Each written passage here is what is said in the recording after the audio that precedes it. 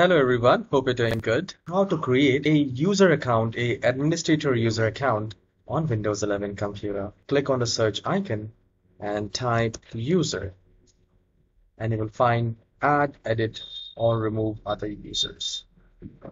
Once you do that, here you will have many options. Add a family member, add other user and create a local user account.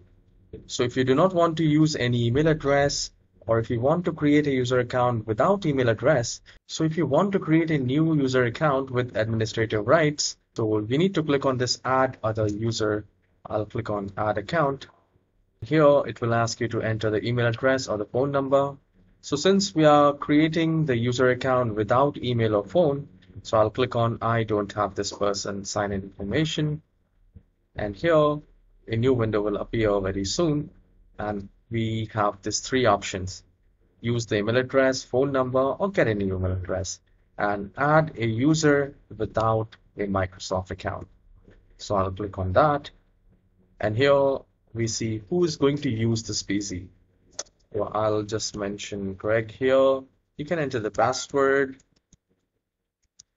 and in case if you forgot you need to enter the security question once you're done with the security questions, click on next and a new account will be created. So I can see the account has been created and here we just need to click on that and we see this account option and change account type.